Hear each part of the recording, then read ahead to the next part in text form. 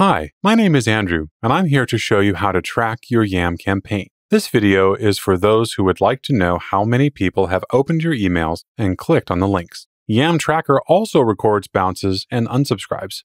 To be able to track your YAMM campaign activity, you must ensure you have checked the box to track emails opened, clicked, or bounced. You do this from within Google Sheets when you start your mail merge campaign. YAMM will track how many people have opened your email, clicked through to a link included within your email, also known as a click through rate, or which email addresses have bounced, which means the email failed to deliver. This is typically because of typos in the email address or because the account has been deleted.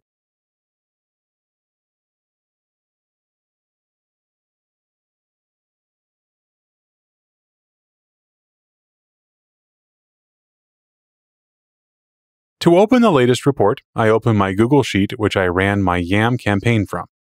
Click Add-ons, Yet Another Mail Merge, Open Tracking Report. Note that this tracking report is updated in real time. On the right sidebar, you'll see the main statistics that are useful to measure your campaign performance. Everything from the total number of emails sent, how many people have opened your emails, those who have clicked on the links from your emails, if you've included some, which emails have bounced, and who unsubscribed from your mailing list.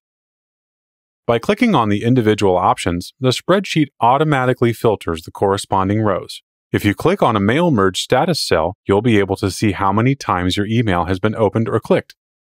All of this data is summarized in a pie chart to help you assess your campaign success at a glance and improve your next mail merges.